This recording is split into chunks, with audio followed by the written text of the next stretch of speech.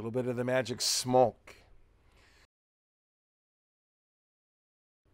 What we have here is a barn find 1916 manufacturer 98 Mauser.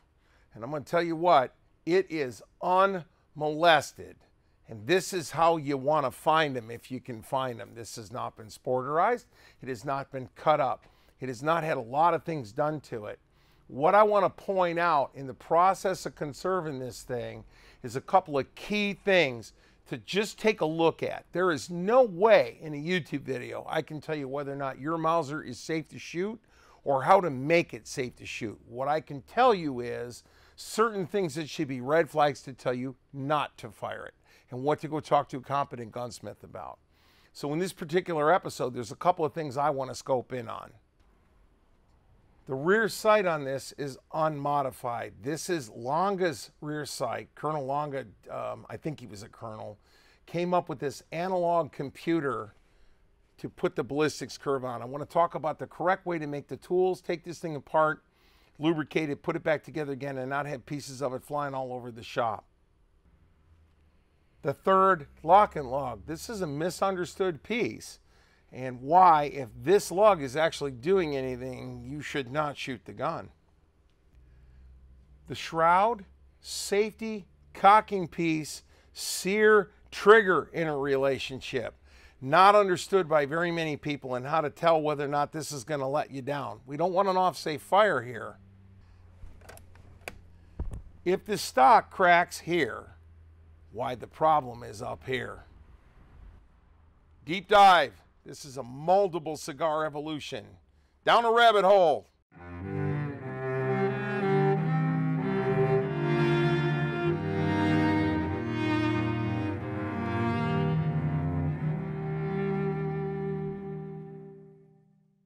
Step one, I've modified my can of, of uh, angel piss here with that straw. This is a straight up straw off a can of WD-40, can of brake cleaner you cut the nose off of it here and it really makes precision application. I'm going to tell you, I'm not sponsored by anyone. I just use this stuff because it works. So I like going around and getting every screw, every pin, every everything on this thing because we are not going to reblue this gun. So I'm not worried about polluting it with a little bit of oil. All we're going to do is just go around and oil everything with some kind of penetrating oil let me make one point here.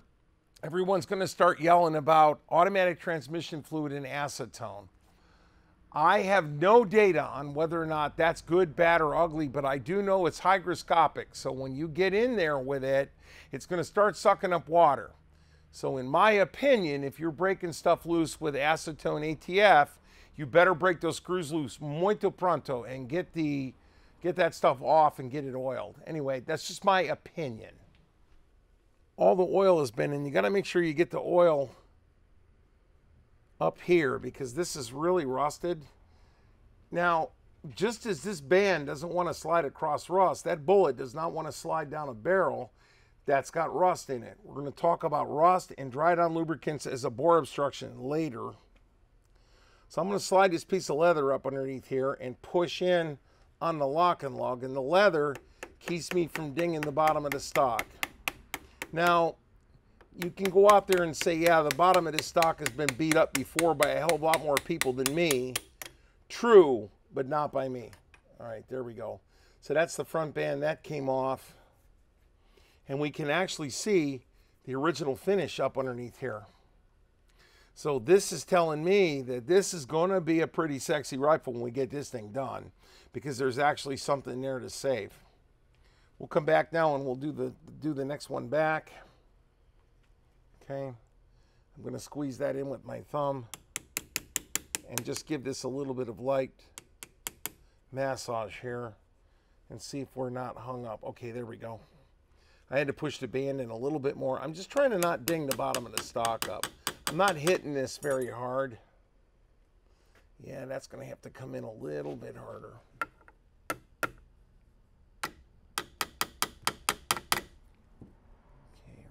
On the other side. So what we're doing now, it's crawling up on me. So I'm going to need to come in and get right there. So I'm going to get a punch. All right. And I'm just going to lightly tick on this.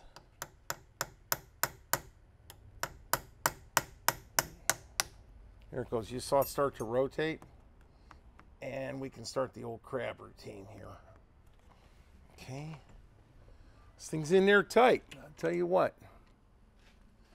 Let's um and that's wedged. So we got a lot of rust jacking going on here. We'll just work with it. We'll just work with it. And work that off. And then a little bit more. Work that off. And I think the wood swelled a little bit. There's no screw here. This is just a straight band lock. It's not been tightened down. And we're just walking it off like this. All right, I got to get a, a brass punch.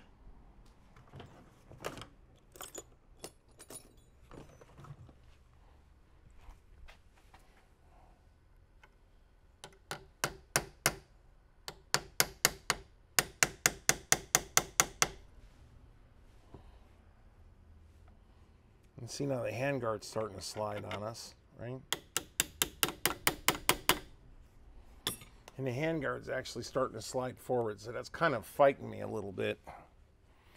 Because this is oxide jacked like crazy. Okay.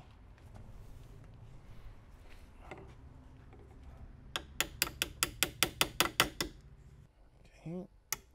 Clamp that in there like that. Now let me see if I can maneuver this without the fore end sliding, without the handguard. There we go.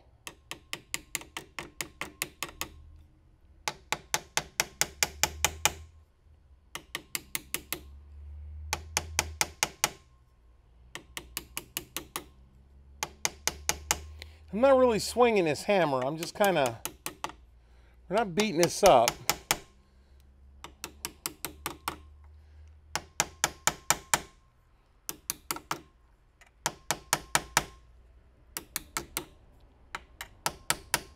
There it goes. I can take that off.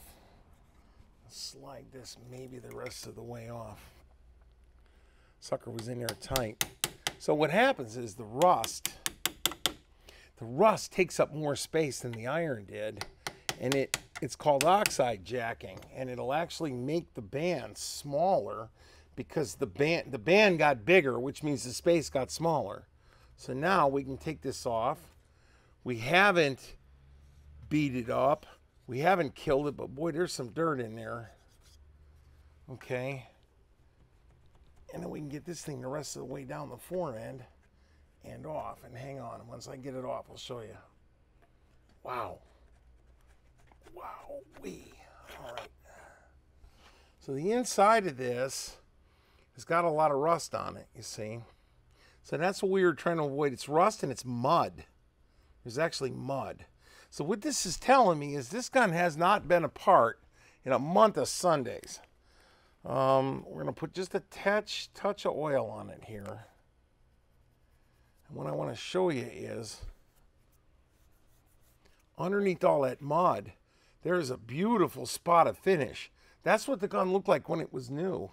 And that's why when you want to like look at something or read a number, don't scrub all of this outside stuff off or else you take off the original bluing and you'll screw it up. There's a unit number on this. I'm guessing that's what that is um, that was written on the other side. There's a uh, an imperial mark on this, which I'm guessing is the Kaiser's mark. I don't know all this. I'm not the historian. Moving around back, we'll bust this lock screw loose. Now these lock screws on some of these guns do not have to come all the way out, and this one doesn't. And when we get this all the way out, I'll show you. there is a indent cut in this lock screw. It does not have to come all the way out.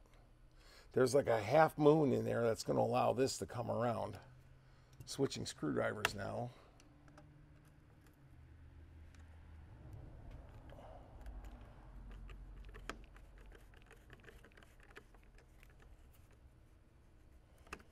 Kind of an awkward angle for me, but I need you guys to see this, not me. You see, and the penetrating oil had gone all the way down the shaft here. But this is that little half moon cut that that, that, that lock screw rotates into. So all you got to do is roll it up, roll it up to there, and out it comes. We can then take this screw out just because it's what we're doing, but ordinarily in disassembly, you wouldn't have to do that. Okay, that's going to come all the way out. We'll talk about that in a little bit, but there's that nick I'm talking about that allows the head of that screw. That's how it locks it. So you roll up like that. That's the lock position. Roll this in there and roll that around and it comes right out. Same for the front one.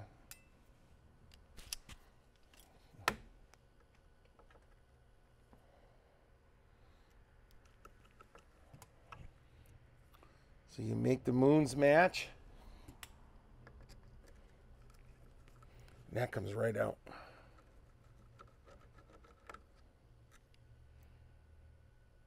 And when these things blow up, they'll they'll rust in right here. They'll rust into that mortise right up on top. Very seldom have I ever seen the shafts rust or the threads. It's always the heads that give you the problem.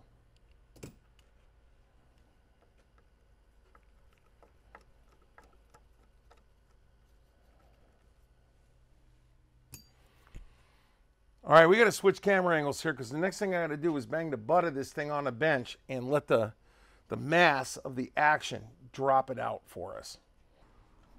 So rather than try to pry this up out of the stock, we're going to use the mass of the action against itself. Roll it over on a soft surface, put your hand underneath it to capture it, and just bump it on the surface, and it will come apart all by itself. So I'm going to set the stock off to one side and we're going to take a look at what we've got up underneath the stock line. So this is the part of the muzzle that's exposed and we can see all this red rust here and there's some three-dimensional uh, accretions on the outside of it. But I don't think there's a lot of deep pitting here. It doesn't feel like it. This rust went on slow. It took a hundred years to put this mung on it. We'll talk about what the heck's going on inside the muzzle later. Some's going to have to be done to this to be able to shoot it. But it's when we get up underneath here, we take a look at that smooth blue oxide. Look at that. Let me get that lit right. Let me light that right. Here we go. Look at that. That was the color the gun was when we started out life right here. And I'm hoping we can bring a lot of that back. And the big one here is we don't want to scrub it. So I'm looking underneath the stock line here. Let me get it relit. And as we roll under that umbra, we can see right where it was, but I'm not sure a lot of that isn't just dirt. That might be mung. We might have got lucky with this one. Sometimes you'll see a lot of rust, but here's the mother lode for what the original finish looked like down under here. Look at that. I mean, that's gorgeous. This sleeve right here that holds the Lange Visier on is silver soldered on. So if we have to use any heat to dynamite this loose, you got to be very careful you don't get this up over about 300 degrees. Because then the silver, the solder will get loose and it, all kinds of issues. Just don't do that if you can get away with it. But it's also important to note that if you need to take this barrel off this action, gunsmiths, don't, you got to get this out of the way first. It's just something you got to do. Some match market, take it off, clean it up, put it back on later. All right, we're looking under here. Nothing under the stock line. Look at this. This thing is gorgeous. We got some red rust here. This is case hardened, but not case colored. So that's why the difference between the colors of the action and the color of the barrel. So this is case hardened. Case colors are a decorative thing.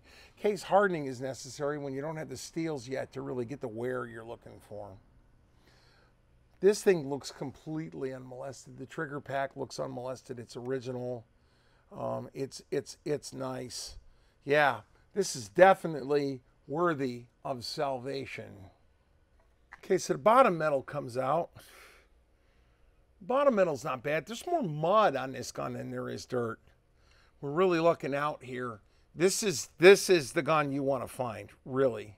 This is the one you want to find. Now I see a little bit of dry rot going on in here.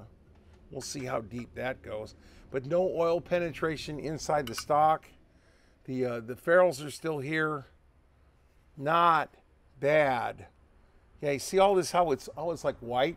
This thing, this thing got its one dip of oil at the uh, factory and it's never been dipped. It's hard to show this, but there's a little bit, it looks like mold in here. Those little spots. That looks like mold. We can deal with that. And then any oil intrusion in here was in here because I put it in there when I was oiling everything down. Um, okay, the stock looks pretty good. The the butt plate's another matter. The butt plate has those screws have been hurt. We're going to hit those with another load of angel piston. Come after those a little bit later um, because those have been those have been hurt pretty good. Whenever they're you're drilling or you ground the butt. So if you look, you can see. All right, I've had Bruno Bruno do a refocus. You can see the three dimensional the three dimensional um, oxidation on his butt plate. So I'm wondering what we're going to find when we get up underneath it. I rehit it. I'm going to let these heads soak a little bit more. So we'll go after the nose cap uh, first. We're going to talk about how to get this thing off. There's a pin through here. And people forget that this pin's in here and they try to drive this entire thing off and it rips, it'll, it'll blow the end grain right in here and it'll pop it all off as one piece. We see a lot of that. Um, so this just needs to get mounted up here in the vise. In fact, I'm going to go vertical here. Again, we're not cracking on this really hard. We just want to get it moving.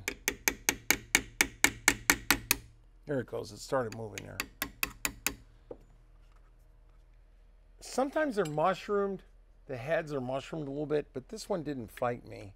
In fact, this will probably come out pretty easy. Put my thumb right there to I know you can't see it, but I'm trying to keep them from shooting it across the room. So that's the pin that holds that in. And then once that's off, this should slide off the front. But that piece of wood from there to there is all that's holding the entire front of that gun together. So you gotta be real careful you don't abuse it. Not a lot of rust up inside, um, right there. Not a lot of rust up inside. We're good. Slid right off, but man, this thing is dry. And it's got this like pulpy, gritty crap all over my hands. All right, let's go after the butt plate screws because this is going to require a little more force. There's a lot of garbage in this screw slot. I'm just going to go through and knock this garbage out of the screw slot. You don't want to try to stick a screwdriver blade down in it until you've got it pretty well cleaned out. There we go.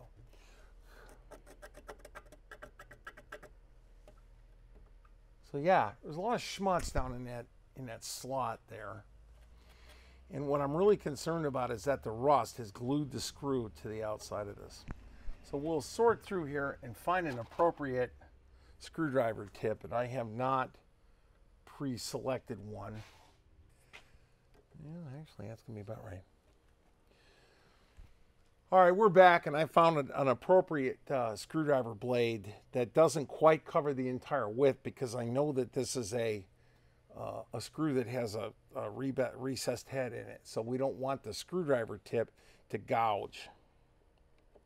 So I'm just going to see if we're going to get, oh my God, did we ever get lucky? Okay, I got lucky on that one and it didn't rust itself in, but we pre-oiled. We gave it about 45 minutes to an hour to act. Um, pre-oiling your jobs is a good idea. Okay, look at that lathe-made screw. That's that's silly. Look at that, crazy. But see all this rust up here, right underneath the rim. That's what I was afraid was going to glue this in. All right, same deal on the other screw, and we'll just I'm going to roll this vise around a little bit. We're going to do the same deal. I'm going to knock all this beat in dirt out of here. Again, no, I'm not using a lot of force here. I'm just tapping on stuff. I'm not, you don't have to, that's why like when the screw slips over, there's no drag marks because I'm really not pushing down on it by much which is part of why it's running away from me.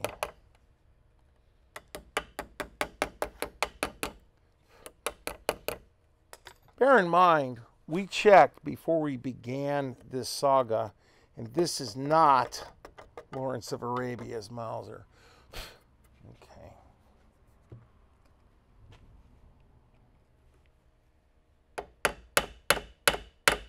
Oh Yeah, that's a lot of fun squeaking out from underneath that. Man, I got lucky twice. Cause look at the inside of that. Look at look at that. How orange that is. We just got lucky. Okay. It's better to be lucky than good. The perception of competence is intoxicating to my customers. Yeah, look at that. That's what I mean by oxide jacket right there. Okay. So we're going to watch that, and this should be a lot of fun. Yeah, it's not that bad. It's not that bad. There's a lot of schmutz rolling down there, but not that bad. All right, we're good. I've got the bolt out of this gun. And when you take the bolt out, you want to have the flag standing straight up. This is the disassembly position that allows you to depress this plunger and just roll this off the back. This comes out as, as a cassette. Now you might notice this isn't the Mauser we're working on. This is a Mauser that has the takedown ferrule in it. And it's amazing to me the number of people that I show this little trick to that don't know what this gizmo does. So you stick this thing in here like this, and you pull down on the shroud like that, and you rotate this piece, and it will come off. And then the entire firing pin train unstacks in your hand. And to put it back together again, you throw the spring back down on it. This has actually got a flat spot on it right here, so it has to go back in a certain way. And then you can pull down and toss the cocking piece back on, rotate it around, bang, it's back together again. And that's what that little appliance does. I just want to show you guys that. The other thing is, I knew the firing pin had been snapped off on this thing, and this was somebody's attempt to neuter it. I really wish people wouldn't do that, but they do. So we have a redundant firing pin. New manufacturer, yeah. So we've got a way to come back up. These are available. They're not prohibitively expensive. And actually, you'll want a new one because it's made out of better steel. It doesn't have pits in it and all that other happy crap you don't want to have to deal with. On military weapons, these band locks right here will kick your butt because there's a pin that goes through the stock right here that lifts this whole thing out. Actually, the pin, yeah, that's where the pin is. So we're going to want to drive it, but if this is oxide jacked, it'll hook up. If you try to just get up underneath this and pry it out, you'll bend it and snap it off. So there's a couple of ways to look, there's a couple of ways to look at this. We're going to roll this up because I want to hit down on it. So hang on a minute. There's a pin right here. Okay, there's a pinhole there, there's a pinhole there. And yeah, I did put a little bit of uh, Kroil on it. So let me get the light around here because I'm going to show you that I put my finger underneath it like that so I can feel it. And I think we're going to have to light it this way. Yeah, we'll light it like this. There we go. So I put my finger underneath there and I'm just lightly tapping down on it. I've had these things rust in here so bad that I've had to actually blow the stock out in order to get them apart. But that little bit of tapping, you see, has, let me get behind it here. That little bit of tapping has lifted this clear, but it hasn't lifted that clear. So that's why we haven't, uh, you know, turned loose on it yet. We've got to go ahead and get the back of this out of the hole.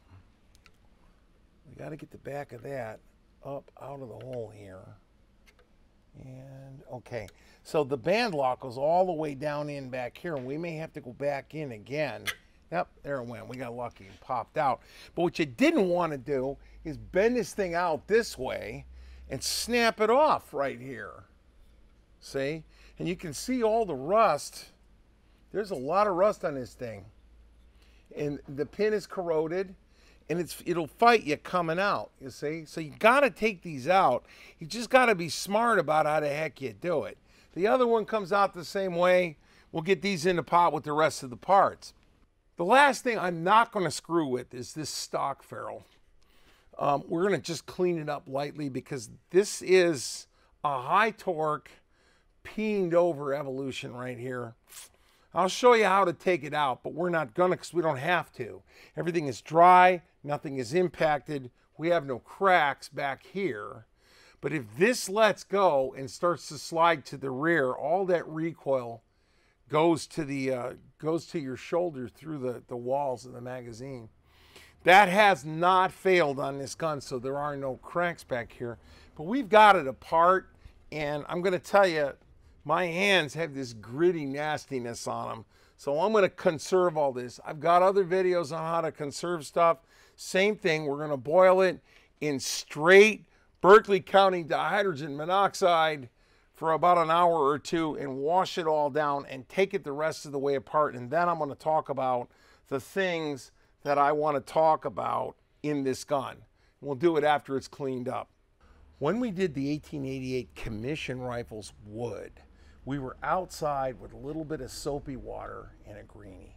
Okay, so that episode is going to have the full effect, but the wood just gets just a light greening. You're not getting weird with this, but man, are you pulling the dirt. So that's all we're doing is getting finger oils, getting things off the outside of this. And then um, hand me the, one, the white rag. Thank you.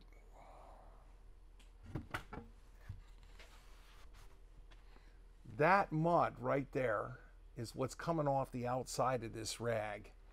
Okay, that's what's coming off the outside of the stock. Now we'll have to go back and you know wash it down with with clean water. But as you can see here, let me get this rolled around like this. See how that's almost a tan and that's still a dark brown right there. So that's what we've done. All we're gonna do is wash this stock down. Now, there are, this is washing this out here. Let me move this over there. There are a lot of dents in this stock. That dent we're gonna wanna steam up. These dents down here, right there, there's a dent right there, you see? There's a dent right there. Oh, wait a minute. Those aren't dents, those are stock cartouches. So you gotta be careful when you're lifting dents in a stock like this that you don't lift the stock cartouches off of it. There's one right there underneath my finger. You see it right there. Don't lift these stock cartouches. That's all I'm trying to tell you. Um, if you're doing Grandpa Humpty Fretz's hunting rifle, sometimes you'll see like, you know, kill marks on it. You got to be careful about that. Now, something I am going to go in and take off is I'm going to take this unit ID disc off and we're going to clean that up so we can read what that said. Because that's that's uh, important and it actually has data written on it, but we can't we can't really see that. So that's what I'm doing while while the metal is converting. We've got all the metal off the bench, it's in the back boiling, and we're in here scrubbing it down. All right, very good. Now, this is going to require a coat of linseed oil when we get done, but that's all it had on it in the beginning. There is a purpose-built tool for removing this recoil ferrule. I'm not going to take this out there's a bit of a, of, of a peen on the outside of that where it's just been beat up over the years. And this stock is dry and clean and there's no oil and there's no reason to take this out. If you have to take this out, you'll know if it's rusted, if it's if it's wobbly in the hole, and then you got a whole other problem with not being able to contain the recoil. So I'm not going to do it, but just know that there is a tool for this. And uh, it comes in a lot of these gunsmithing screwdriver sets. If you've actually got to go after that, you can go after it. All right. Something I want to show you here. We uh, cleaned, we cleaned the stock off. This was a white t-shirt. When I started working on this stock, it was white shop rag. And this is how much dirt we pulled off with a little bit of soap and a little bit of scrubbing action without taking anything else off the surface. I'm going to come back in with a little bit of Danish oil here. And we're just going to wipe this stock down with some Danish oil. Hang on. Danish oil is linseed oil dissolved in Stoddard solvent. Look it up. This is not a coat. This is an application. We are just going to get this sucker wet and let it drink because it has not had nourishment in a long time. I'm going to go inside and outside with this stuff. Danish oil will penetrate the wood and then it will oxidize and polymerize and it will get hard inside the wood, but it will protect the wood. We're just going to slab it on and let it drink. Okay. It's not a urethane. It does not set up on the surface. It sets up in the wood. And God knows, this girl needed it. Okay. You can go right over existing metal with it. Get up inside the mag well. Ordinarily, when these things were done originally, they were just dipped. I mean, it was grabbing Achilles and lowering him into the Ajax, man. So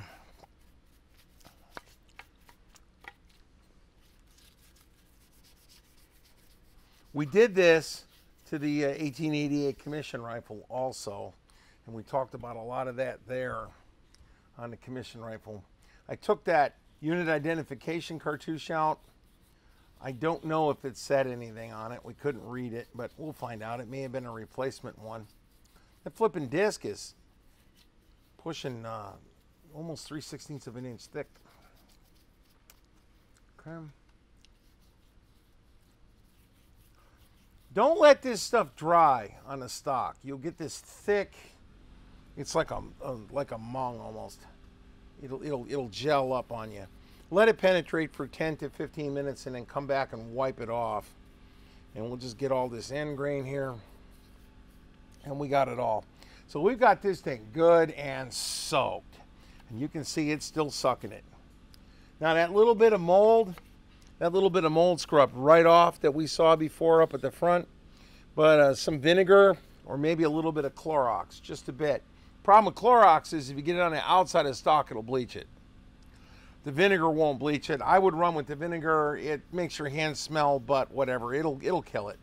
It's a little bit of um, uh, it's it's acidic, so it'll it'll just kill it, knock it back, and you'll be golden. All right, so there it is. And we'll just go ahead and, and, and we know that that's in there. So what'll happen is we'll set this off to one side, and then in about 10 or 15 minutes, we'll just come back and we'll wipe it off. And that's what it'll look like right there. And that's going back. Now that's starting to look like a, a, rifle. It's got a little bit of a sheen on it. When it dries back we can kick it. I'm not going to steam any of the dents on this gun. I've come to the conclusion that we're going to leave this thing as we found it. We're just going to stop it from dying. And that is the entire purpose of this exercise. Oh yeah. And don't forget to do the hand guard we've converted off all that mud and all that rust. Look at that. Look at that thing. And I don't I don't even know how to adequately show you how gorgeous this thing was when it was brand new. This is why the 1950s collectors were screaming at everybody to not just come in and wire wheel everything down to the white. Okay, we roll over the top here. Now let's talk about let's talk about this Lange Visier. And we'll work on it at kind of an angle like this just so that it's easier for y'all to see it. There's not much to this sight. This doesn't come off. There is a screw here. Don't. What that screw is doing is just kind of holding your index while you're uh, soldering it in. And if you look in here, you can actually see the solder down in this pit down here where the whole thing has been tinned, slid over, and the whole thing's a sleeve back to here. You can polish this if you want to. You can polish this with uh, like a like an 800 grit crocus cloth and just take the silver back off the top. I'm going to leave it alone. It's got numbers on both sides. Um, same deal with the with the Traverse. Um, there's a set of uh, pointers that stick down on this underneath here that point at all these numbers. It's a beautiful sight. And it's not as complex as you might think it would be. Um, a lot of guys that have this, like I'm reading on forums where they get their, they kind of get their butts kicked by this thing. You see, there's a an indent here. So when the spring pushes this up, that locks into that groove, and when you push in with your finger, it allows it, right? So if you've got one on either side of this, when you push in, it unlocks and it slides. And then when you let it go, it comes back to the outside and it locks again. My fingers were in the way here, but it'll make a little bit more sense in just a second. As you can see, the rust converted off this part beautifully. There's no, uh, we didn't augment the, uh, the bluing on it or anything. We're just going to stick a little bit of, of uh, Lucas in here. Again, I'm not sponsored by these guys. I just use their stuff because it works really, really well. There's a spring tunnel in here, and a spring goes in the tunnel there, and a spring goes in a tunnel there. Okay? And then you got to have the hook facing down so it becomes pretty obvious, and I'll line it up for you here in just a second. If the hook is facing down, that has to go in that way. So that's going to go on. And that spring is pretty aggressive. That spring is pretty damn aggressive. So then this one goes in this way. And they face each other, you see? So then there's a spring in there, and then that will just push in. Now I'm bending that one spring there, so I don't want to do too much of that. Hang on, here we go. There you go. That's the idea right there, okay? So then, so you've got to get this compressed so that the springs don't bend, and you've got it down now so the locks are out of the way. And then it just slides on. Now I know it said it just slides on, but it just slides on. And once you get it in, they're captured, see? But that's what you're trying to do. You've got to get it so that the dogs are lined up so that they grab. The springs did not bend over. And I just, there is just no really good way to show you that. But that's how it's supposed to work, right? and that slides there and then there's the pointers down on the bottom that are pointing at the numbers and when you run it all the way up the very top number is at the very top that's how you know it's on the right way okay now we've got the slider part of this this is a is a analog computer with a ballistics curve milled into it as a cam as you slide the slider up this will actually move up and bring your rear sight up to a position that corresponds to where the round might have hit on a day in Berlin when the sights were, were calibrated. But I'll tell you something, this thing's got a 400 meter battle zero on it. Seven, six, five. It just does, doesn't quite come down to five right there. And I'm going to tell you, at 400 meters, I can stand in front of a white automobile wearing a green jumper with a red shirt, and I'm hard to pick out. So here I am standing in front of a white car about 400 meters in front of the muzzle. You gotta be kidding me. Yeah, I'm just gonna go smoke this cigar and, well, let this bus cut off our view.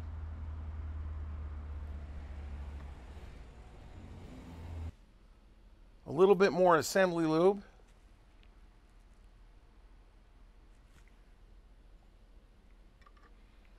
And that plugs in there, okay?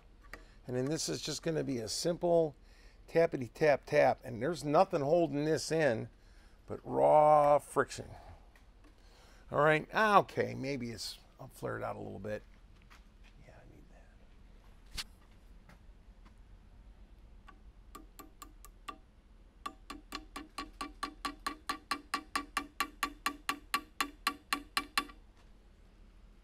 Just go in until it's level. Um, hand me the blue one, will you? Okay, in order to shove this that last little bit, just kind of right there. No, I'm not hitting a hammer with a hammer. This is just a punch with a handle on it. Okay, now you take an old screwdriver bit and you cut the teeth in it so that they fit right in there. This is what a moto tool is good for in the shop. A Dremel is great for making stuff like this. But if you don't have this tool, you will just mung this screw up. That's all you'll do. This just goes in here. Let me get my fingers out of the way. Okay, that one's going to screw in there. This one's going to screw up in here. And we're going to grab the track with it, right? So I'll roll this up here and make it a little bit more obvious. We're going to grab the track with it. This will mount in a screwdriver and allow us clean and easy turning. Now, these threads are, you got to make sure you don't trap it. These threads are tight, and they're tight for a reason. because they don't want the screw coming out. You don't have to kill it, just touch down and cinch it. See, and now it's grabbing it. And this is just one side grabbing it. And this allows us, as we slide this back and forth over the numbers, to access the ballistic cam, to set the rear sight, to pivot the barrel down, to cause the round to travel over the earth in such a way that it impacts at 1600 meters. Outstanding. That lug right there. That's a safety lug. And the back end of this is designed that if the two main primary lugs break and all of this gas venting paraphernalia here fails and this bolt fails and it comes to the rear, it should be intercepted. Let me get my hand out of the way. There it is right there. There's the locking surface right here. And this locking surface should not touch the back end of this bolt or if it does very lightly this does no work just just know that this lug is here and we have actually seen a Mauser where these lugs were lapped down so that this would be in contact. Don't do that. So when you look at this it shouldn't be shiny at all. And it's hard to photograph because it's made out of steel but that's pretty much dull. That has never done any work nor should it. That's all I got to say about the third lug. Just if this lug has been messed with, just just stop and go talk to a gunsmith. So this is the aforementioned firing pin cocking piece, safety tab, sear, trigger overlap that I was talking about in the beginning. And there's a bugaboo here. Because what this safety is supposed to do is cam this piece backwards. So it requires a little bit of effort to turn a Mauser safety on when you roll this over and we'll get it all put back together again in the gun. And I'll show it to you when we get it in the gun here. But there are some camming surfaces on the back of this. You see them? Right, yeah, right there. Where's the light? There it is. There's a couple of camming surfaces here and here that are designed to grab the top of this cocking piece and shove it backwards. Now here's the problem. This is hard to move, so I'm going to go in with a stone and do gunsmithing. Don't do that. Never, ever, ever, ever touch this cocking piece with the exception of perhaps cleaning up the odd burr or getting a little bit of detritus off of it. When this is on, this cocks back, the trigger can then be pulled, and when it's left up, the cocking piece is turned back to the firing position. It sits, I mean, the uh, safety uh, tab is turned back to the firing position. The cocking piece sets back down on the safety. Now, here's the problem. If you make this easy and you can turn the safety on and it doesn't move this, you pull the trigger and that goes tick up against the front end there. And what happens when we take the safety off? Firing pin goes forward and gun goes off blows a hole in your foot, blows a hole in your overhead. Just don't do that. So that's one of the big deals we're going to look for. We're going to put the gun back together again. I'll show you what this looks like when it's all loaded up under spring tension. There's something else that a lot that happens up inside this thing is that people want to cut this ledge off right here. They don't like the fact that you have to cam this sear down a long way. Well, let's remember now that this gun was designed to be operated by tired, cold, scared, witless conscripts that can't even read. And I'm not bagging on the soldier. I'm just saying that's what you get in the middle of World War One. All right. So this is designed. It has two camming surfaces on the top of it. There's a bump back here, and there's a bump up here. Right. And if these have been ground off or adulterated, get a new trigger. Just don't do it. If this ledge has been cut because somebody's trying to put that there clean trigger pull on it, this is not the gun. You get a clean there trigger pull on. It isn't. This angle has to be cut at an absolute 90 degree perpendicularity to a line drawn through the line of thrust here. Okay? When this is cam down in first position. It comes most of the way down. And then in second position, the leverage is poor and you can just pop it out of the way. We'll demonstrate in the gun. But the point is, when this is coming down, this cocking piece should be moving backwards ever so imperceptibly. The act of pulling the trigger on a Mauser should imperceptibly cock the gun. And what that means is these angles are forcing this into engagement. This trigger should hold weight without the trigger spring in it. It should hold weight without it. You wouldn't want to shoot it that way, but that spring adds a bunch of weight to the trigger that needs to be there in order to control it.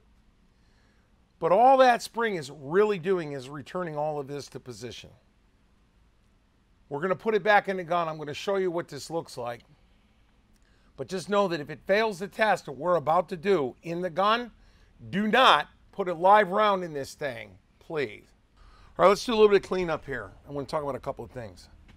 There is a double, this comes down, and there's a definite resistance point right here, and then it comes the rest of the way out. And those are those two lobes on that cam. If the trigger's been ground or this thing's been ground, just get another one. Just, just, just humor me and do that. There was a gentleman out in California asked me about that couldn't understand why things weren't working the right way. We replaced the, the sear and everything worked. So if it's been ground on, it's been ground on. All right, something else I want to show you. This firing pin here has a contour to it. And what that contour does, you know you don't want to see that wiped or messed up, this is your out of battery interlock. All right? So you can see how the firing pin is sticking out the end there, and now it's not, right? So there is a way when the, when the bolt goes in, let me roll this up.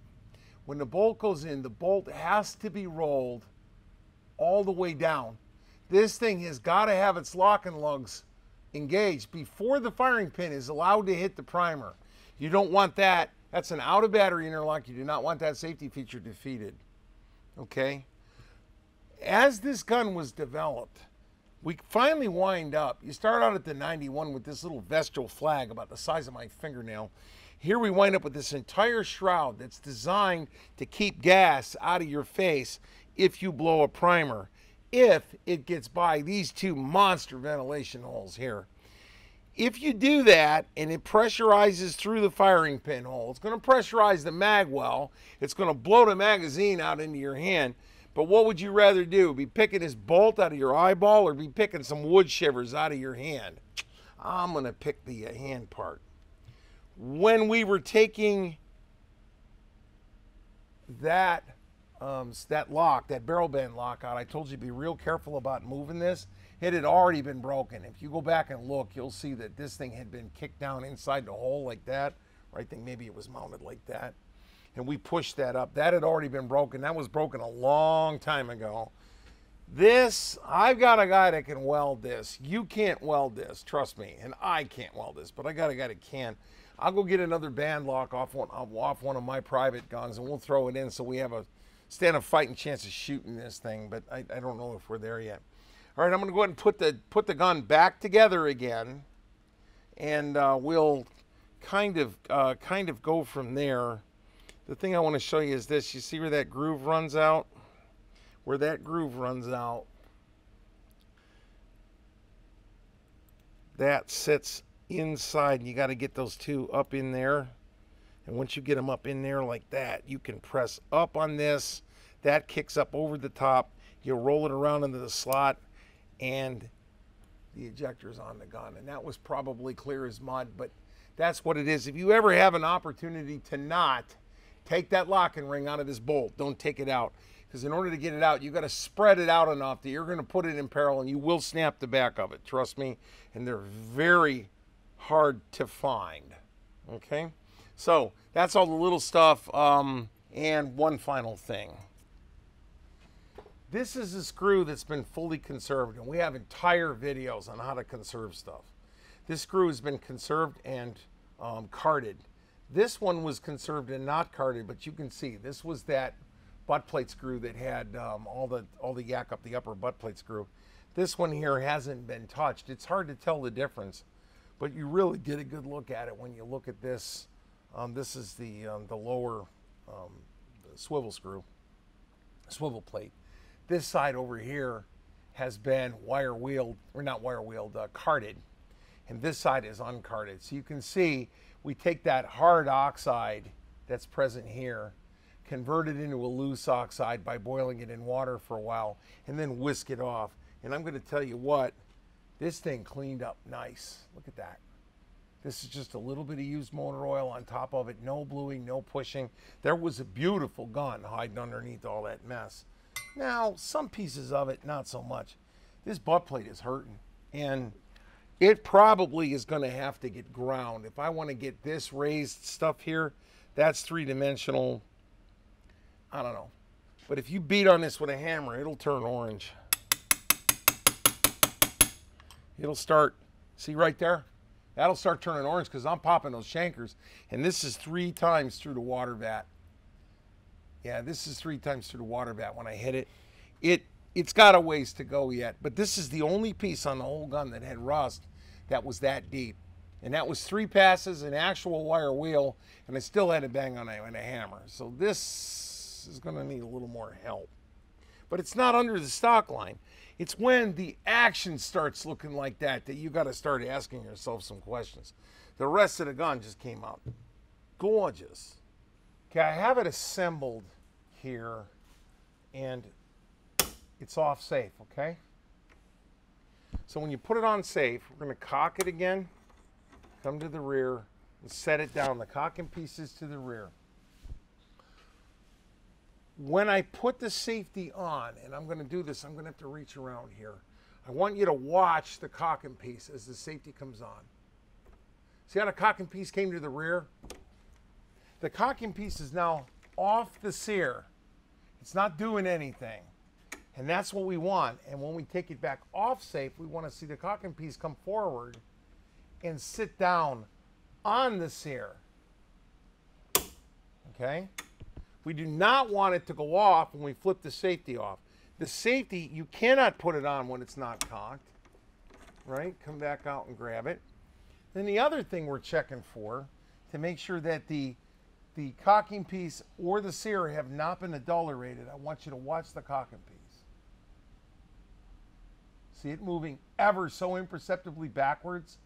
As we're pulling the trigger, we are actually cocking the mainspring ever so slightly. We get up on this resistance point, we can sit there and hold that. And then when it's time for the gun to go off, just give it a little snick and it drops. There's something to be said for these two-stage military triggers.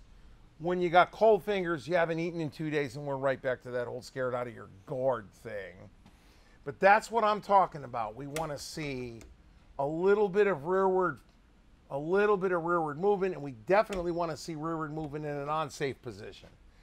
That will tell you that you stand a fighting chance with this trigger of not hurting somebody something or having a, a, a fire. Then the other deal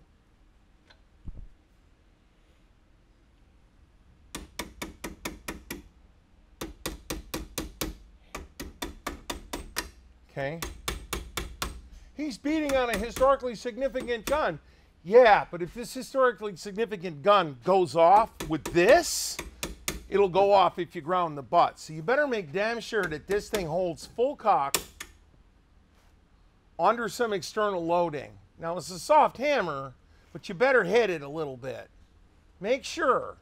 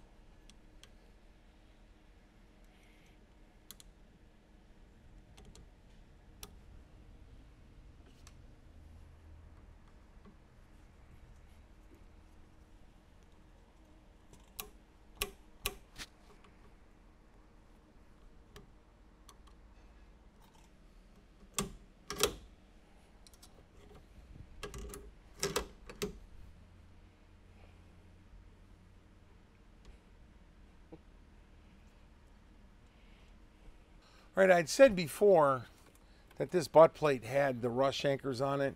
I went ahead and pounded them down with the hammer. Um, and then really aggressively wire wheeled it. And I know we don't want to wire wheel stuff, but I did. I turned part of it white.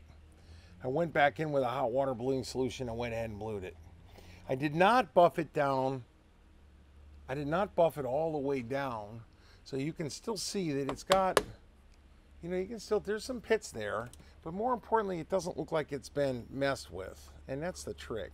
It's still got the acceptance mark on it. Not bad. But that's not the real problem with this gun.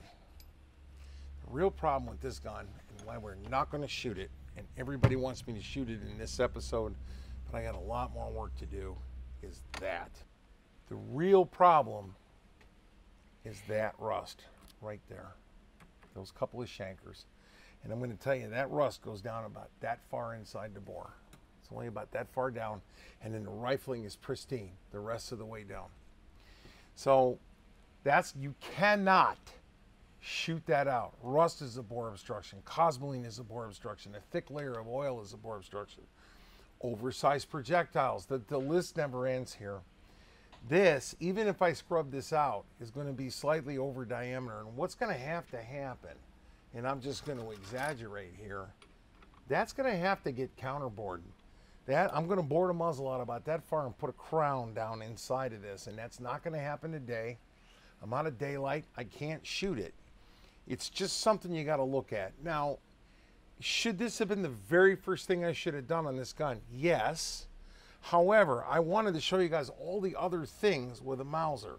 So let me pull this thing up and show you what it looked like when we're all done with it because it turned out pretty nice and this gun will come back from the dead. You cannot shoot that or you will put a, put a ring around it right here and the whole gun is gone. Now, he's going to ruin that priceless collectible. I did not make the decision to do this. All I'm going to do is get us out of it.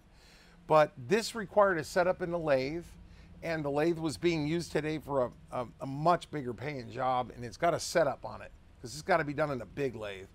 And I just didn't have the equipment in the shop right now. I'll go around it and come back to it. Last thing I'll tell you is we did put it back together again because I stole a forward barrel lock out of another one. We'll get the uh, other barrel lock, the one that was broken. You can see it back here laying on the bench. The one that was broken, we'll get it, but we got this. You cannot shoot this gun without these barrel locks on it or else these bands will just come flying off the front end of it. Well, it cleaned up really nice. The bluing cleaned up nice. The gun cleaned up really well. And with the exception of that issue out at the muzzle, I would have to say that this was a pretty good save. We left the stock unmolested. All we did was take the dirt off the top of it. All the cartouches are in one piece all of the markings. We got the Lange Visier.